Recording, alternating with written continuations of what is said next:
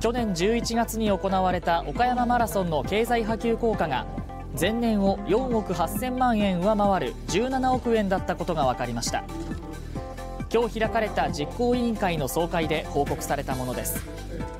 大会規模がコロナ禍前と同じ水準に戻され沿道の観客も前年のおよそ1.6倍となる12万3000人に上ったことなどが増加の要因です。